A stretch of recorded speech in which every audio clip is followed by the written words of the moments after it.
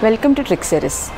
In strategies of enhancement for food production, there's a table 9.2 under which they have given three examples plant breeding varieties for insect and pest resistance. So those three examples are very important and will be asked in NEET examinations. The first example is Brassica and its variety is called Pusa Gaurav which shows resistance against aphid they have given.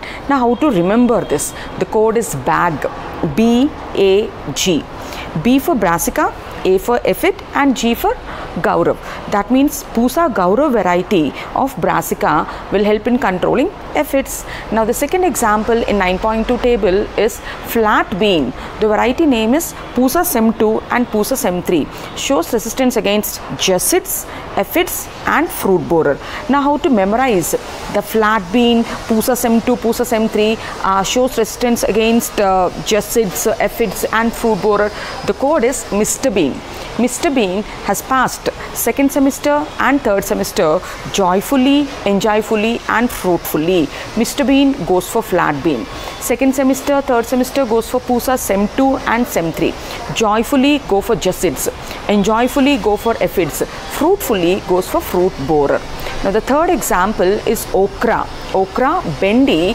The varieties are Pusa Sawani and Pusa A4 shows resistance against fruit borer and stem borer.